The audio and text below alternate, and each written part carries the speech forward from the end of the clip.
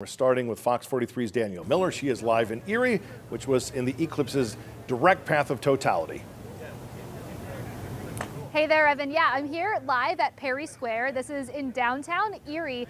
And just what, 30 minutes ago, this place was a buzz. This was packed with hundreds of people here to experience totality. And let me tell you, it did not disappoint.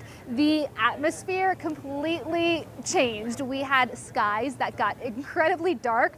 We had temperatures. I had some uh, folks from over at NASA tell me that it dropped 15 degrees between what we were experiencing before the eclipse to when we were in the peak of totality. So there were chills uh, on our arms. The atmosphere was electric. Everyone was cheering and, uh, you know, screaming in awe of that total solar eclipse. Of course, the only time you can see the outer parts of the sun's atmosphere or the coronasphere is during totality. And that's when we were able to take our glasses off. We were able to safely look up and see that experience. There were even planets on either side of the sun. Now, we are still in a partial eclipse, so I still have my glasses handy as I'm keeping an eye on things here. Uh, of course, we are going to have much more reaction from here at Erie coming up a little bit later on in the shows, but I'll send it back to you guys. And Braden, I'll tell you, we were very nervous this morning. It was oh, yeah. raining, it was cloudy, but everything cleared up for us here in Erie. We had just enough time here not only in Erie, also in south central Pennsylvania to see some beautiful shots there for sure. Yeah, and I wanted to ask Danielle real quick. Uh, she's still there. That uh, I, see, I, I, saw a big smile. I heard a lot of joy yeah. in her voice. Uh,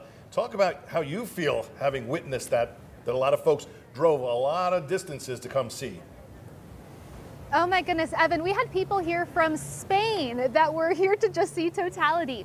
I personally got to see an eclipse in 2017 and I saw it at 98% totality. Today, seeing it 100%, let me tell you, it was a world of a difference. The entire atmosphere was different. The uh, Just the magnitude that it got dark and cold, I, I wasn't expecting it to be that extreme. So I definitely say if you're here in 2040, 2044, it is completely worth it because I had chills. Maybe I'm a, just a scientist who is nerding out today, but it, it was really cool. All right, good stuff. We're going to check back with you later in an hour and again at 5 o'clock. Danielle, thank you so much. Live in Erie. And uh, yeah,